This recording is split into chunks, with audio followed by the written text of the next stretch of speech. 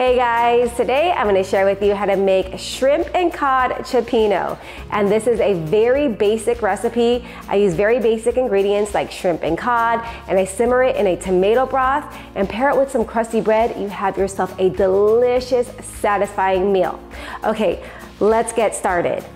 Shrimp and cod is actually one of those dishes that my hubby and I would always order at a restaurant, but I never just thought to make it at home just because I feel like it's so many different types of seafood. So I came up with a recipe using, like I mentioned, very basic ingredients that I normally cook with, which is cod and shrimp. But you could definitely make it more authentic and add mussels, you could add clams, you could add scallops, whatever your heart desires. If you're feeling a bit fancier, you could swap cod for some halibut, which is more of an expensive piece of fish. But my goal was to keep this recipe very, very simple, simple enough to make for a weeknight meal. Okay, so I have a little over a pound of shrimp. I got the ones that are already peeled, but the tail is still on. But you can buy them peeled, you can buy them unpeeled, whatever is available at your grocery store or whatever is on sale. I always have a bag of frozen shrimp in my freezer um, on hand. And then I have a little over a pound of wild caught cod. And grab my knife.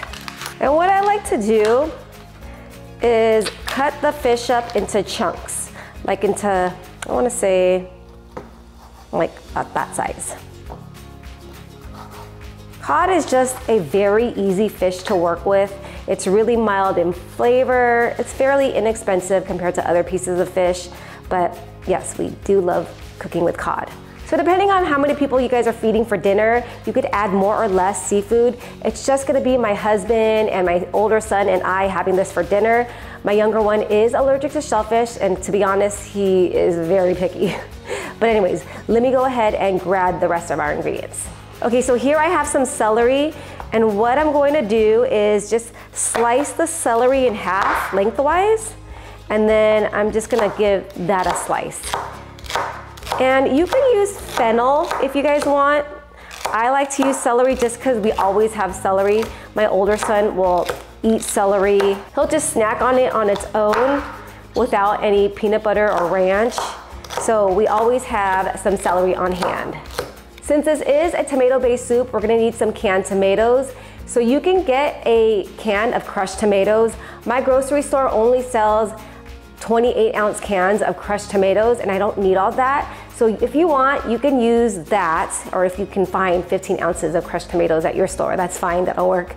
Um, but if you do get the 28 ounce can, just use half of that. So what I like to do so that there's no waste is I get a 15 ounce can of diced tomatoes and I put it in my food processor and I just blend it away. And that's basically crushed tomatoes. We're crushing them in the food processor. they also have whole peeled tomatoes, and you can do that too. Just go ahead and put it in your blender or food processor. Ooh, I don't want to get this on my sweater like I did on the last video. I was wearing white. I need to start wearing an apron. Okay.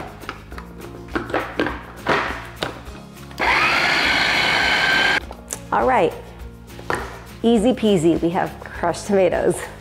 Okay, so we're also going to be needing some minced garlic. I have a diced onion. I have some red pepper flakes. We're only gonna be using a little bit just because my older son is not a fan of heat and he's gonna be having this for dinner. And then I have vegetable stock and that's what I'm gonna be using in the recipe. If you wanna be more authentic, you could use clam juice or seafood stock. This is what they had at Trader Joe's. This is what I used, and when I tested it out, it came out perfect. Plus, you're gonna get the flavor from the cod and the shrimp simmering in the broth, so vegetable stock worked just fine for me. Um, we have some flat leaf parsley, and just like with any soup and stew, I have a ciabatta baguette. You could use a French loaf, you could use sourdough, whatever crusty bread that you like, go ahead and use that. What I really love about this recipe is I think I bought everything from Trader Joe's other than the parsley, which I already had on hand, and the shrimp, which I had in my freezer. And like I mentioned earlier, my goal was to make this recipe simple enough for anyone to make at home on a weekday if you're craving cioppino. Okay, I'm really excited to show you guys this recipe. Let's head over to the stove. All right, so I've got my pot heated over medium-high heat. I'm going to add some oil along with the diced onion, the celery, and the minced garlic. I'm going to season it with some salt and add a pinch of crushed red pepper flakes. You could add more if you guys like more heat, but I'm just gonna add a little bit just because my son. And I'm gonna cook this down until they're slightly softened. This will take about four minutes. All right, our veggies are looking good. They are nice and softened. Time to go in with the vegetable broth. Gonna use the entire carton. I'm also going to go in with the tomatoes. And the vegetable broth and the tomatoes, well, tomatoes are no salt and the vegetable broth is low sodium. So I'm gonna go in with a good amount of salt because we want that flavor to go into our seafood as well. I'm also going to season it with some black pepper and I'm gonna bring everything to a boil. All right, so once everything has come to a full on boil, I'm gonna lower the heat to medium low and let it simmer for about 10 minutes so all the flavors are gonna just marry together. All right guys, our broth has been simmering for 10 minutes and now it's time to drop in our seafood. I'm gonna go in with the shrimp and now the cod. All right, you wanna be very gentle because you don't want the cod to break up on you. I'm gonna bring everything to a boil. And once it reaches a boil, I'm going to lower the heat back down to medium low. And this does not take long to cook at all. I'm gonna cover it and let it cook for about five minutes and our seafood should be cooked through. All right, let's go ahead and check to see if the seafood is cooked through. And you wanna just make sure your seafood is cooked through See how it's like white and flaky and opaque? That means it's cooked through. And let's check out our shrimp. Our shrimp looks perfect, guys. All right, it is time to serve this up. I'm so excited. I went ahead and garnished it with a little bit of fresh chopped parsley, but there you have it, you guys, the most easiest and simplest shrimp and cod cioppino. All right, you guys, the time has come. It is time for the taste test, and I cannot wait. I went ahead and made a garlic bread. I went the extra mile today. Normally when I served this up last time, I just toasted up the bread and smeared a little butter on it, and that was just as delicious. But if you wanna make garlic bread, I'll leave the full written recipe in the description below for you guys. And then this is optional. I have some fresh chopped parsley, and then I went ahead and plucked the lemon from my tree, and just for some extra freshness, I'm going to add some lemon juice. All right. Let's take a bite. Actually, I'm gonna remove the tail from the shrimp here so I can easily eat it. Okay, so I have a little bit of shrimp, I have a little cod. Cheers, you guys.